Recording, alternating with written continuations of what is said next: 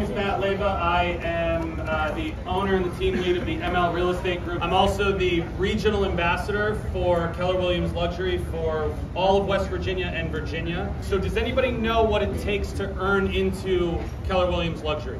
Every county in the country has what we call a threshold. And that threshold is what constitutes luxury versus non luxury. Northern Virginia, we're about a million, depending on where you are. We also know that there's a lot of million one properties that aren't anywhere near luxury. That threshold is important for one reason we are earn in, we are not buy in. So if you want to become a luxury agent, what you need is you need to sell four properties in a 24 month period that are above the threshold.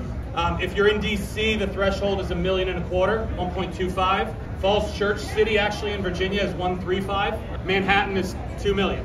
Lower price point areas, 700 is the minimum across the country. What do you get when that happens? When you earn in, you get an entire suite of marketing uh, materials, collateral that you can use as your brand. When I started in real estate, all I wanted was the Keller Williams luxury logo. And I did that to give myself stature in neighborhoods. Nobody knows my logo, but that logo has recognition. Any questions about luxury in general, luxury at kw.com. They will get back to you within 24 hours. Most of the time, it's the same day.